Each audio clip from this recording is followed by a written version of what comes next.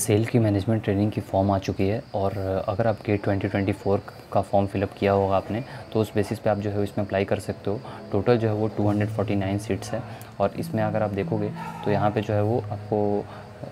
अगर आप OBC category से बिलोंग करते हो तो यहाँ पे आपको रिजर्वेशन क्लियरली देखने को मिलेगा कि टोटल सीट्स अगर 249 है तो यहाँ पे जो है वो अराउंड 27 परसेंट रिजर्वेशन जो है वो ओ बी कैटेगरी को यहाँ पे दिया जा रहा है। अब इस केस के लिए आपके पास जो है वो एक valid O B C N C L certificate होना चाहिए। तो उसके बारे में मैं यहाँ पर बात करूँगा। So watch this video till end ताकि आपकी जो भी डाउट्स होगी वो सारी क्लियर हो जाएँगी। और अगर आपने चैनल को अभी तक सब्सक्राइब नहीं किया है then please do subscribe the channel ताकि आपकी जो भी क्वेरी होगी वो बाद में भी आप जो है वो पूछ पाओगे और वीडियोज़ भी देख पाओगे ओके तो यहाँ पे आप देखो कि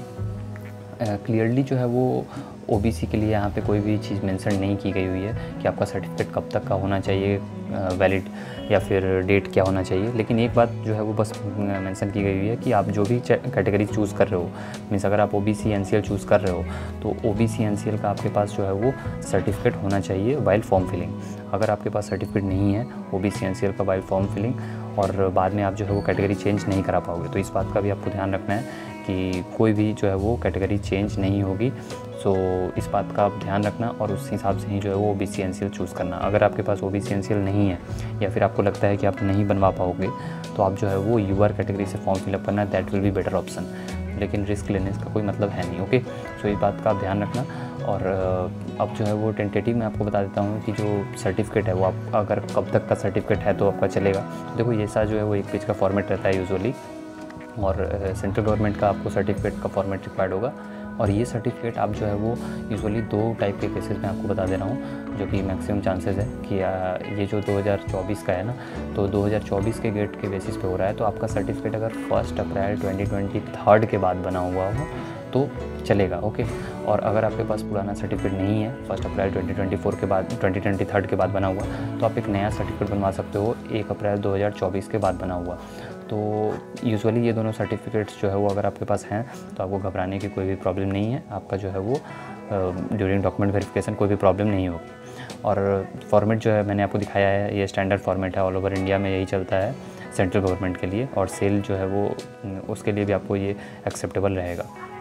तो आप जो है वो मिनिमम जो है वो तहसीलदार रैंक के ऑफिसर से बनवा सकते हो ओके तहसीलदार रैंक के ऑफिसर से या फिर कुछ जगह पे सीओ बोलते हैं, कुछ जगह पे आरओ बोलते हैं, कुछ जगह नैब तहसीलदार कहते हैं। तो इसका जो है वो आप ध्यान रखना। और रही बात की इसकी जो सर्टिफिकेट की वैलिडिटी की तो वो जो है वो एक साल के लिए वैलिड रहता है यूजुअली और आपकी फैमिली इनकम जो है वो आपको पता होगी कि लेस दैन एट एल होनी चाहिए, तभी जो है वो आपको एन सी एल का बेनिफिट मिल पाएगा, वरना जो है वो आप यूवर के कंसिडर यूवर के कैटेगरी में आओगे, आपको ओ का रिजर्वेशन का बेनिफिट नहीं मिलेगा ओके सो आई होप कि आपको जो है वो ये सारी बात समझ में आ गई होगी एंड आपके पास अगर पुराना सर्टिफिकेट है तो आपने एक नया सर्टिफिकेट बनवा लो और फिर भी अगर कोई क्वेरी होती है तो आप डेफिनेटली कमेंट में कमेंट बॉक्स में कमेंट कर सकते हो। अगर आपको नहीं पता है कि ओबीसी का सर्टिफिकेट कैसे बनता है तो मैं वीडियो का लिंक आपको डिस्क्रिप्शन बॉक्स में दे दूँगा। वहाँ से आप देख सकते हो कि ओ बी सी एन कैसे बनवाना है ओके और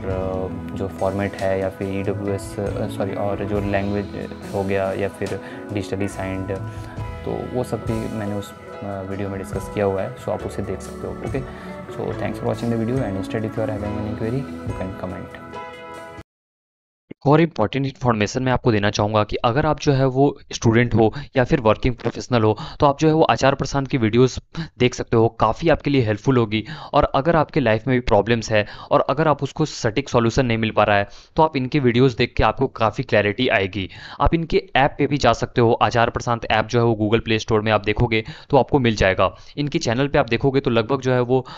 चार करोड़ से ज़्यादा लोग जो है वो जुड़ चुके हैं। और इनकी जो वीडियोज़ होती है, वो डे टू डे लाइफ से रिलेटेड रिलेटेड होती है, जो कि काफ़ी जो है वो आपको इंसाइटफुल एजुकेशन यहाँ पे मिलता है। तो आप जो है वो इनकी वीडियोस और ऐप को एक बार ज़रूर देखना। नाम याद ज़रूर कर लो, आचार्य प्रशांत।